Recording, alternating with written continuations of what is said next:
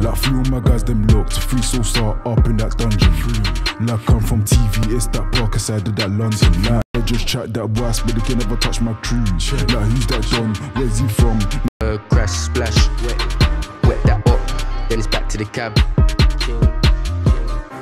Word up to the DT crew, just wishing them pricks, just wishing them pricks.